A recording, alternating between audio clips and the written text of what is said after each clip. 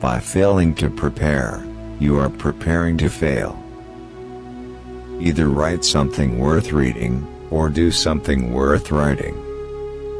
They who can give up essential liberty, to obtain a little temporary safety, deserve neither liberty nor safety. Tell me and I forget, teach me and I may remember, involve me and I learn. Be at war with your vices, at peace with your neighbors, and let every new year find you a better man. An investment in knowledge always pays the best interest. Instead of cursing the darkness, light a candle.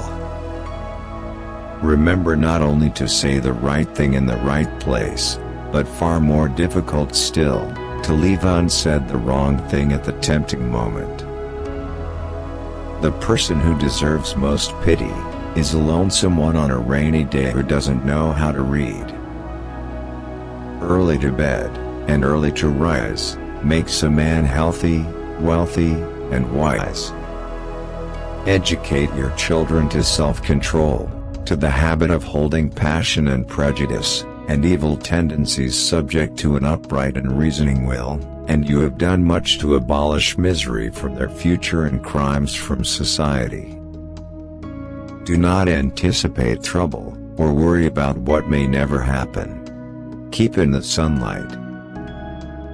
The heart of a fool is in his mouth, but the mouth of a wise man is in his heart. A slip of the foot you may soon recover, but a slip of the tongue you may never get over. If you would not be forgotten, as soon as you are dead and rotten, either write things worth reading, or do things worth writing. Who is wise? He that learns from everyone. Who is powerful? He that governs his passions. Who is rich?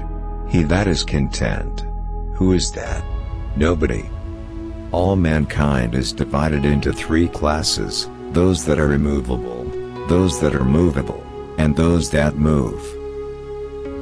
It takes many good deeds to build a good reputation, and only one bad one to lose it.